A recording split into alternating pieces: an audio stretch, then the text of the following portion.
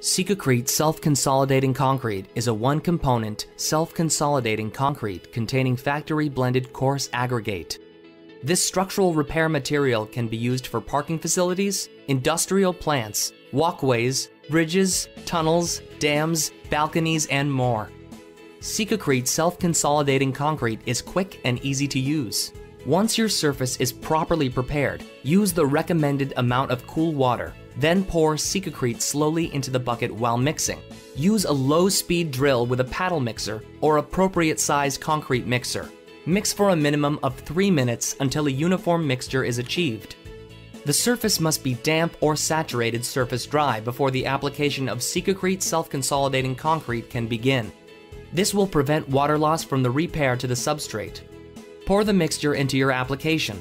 Sikacrete is silica fume enhanced and polymer modified to increase the bond between Sikacrete and the substrate. It also contains a migrating corrosion inhibitor, which protects the rebar from corroding.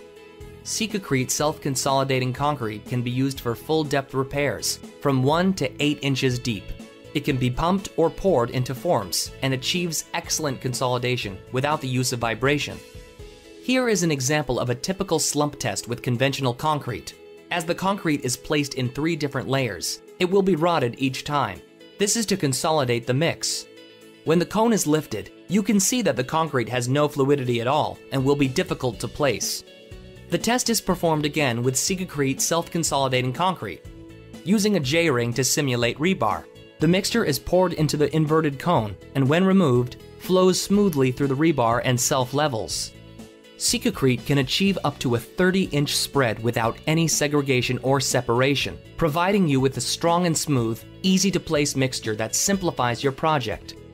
As always, carefully follow the detailed installation instructions found on the product datasheet.